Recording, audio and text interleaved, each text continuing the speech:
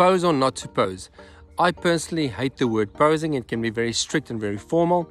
The idea for me is to really get everybody outside into nature, get them to interact with their surroundings. Once they've done that, they would have relaxed a lot more and we can get the real moments captured. The idea is to really capture the dynamic between the family members or friends. You can't do that with posing. You must get that by creating moments and creating opportunity where there is connection. For more videos like this, please follow me on Instagram.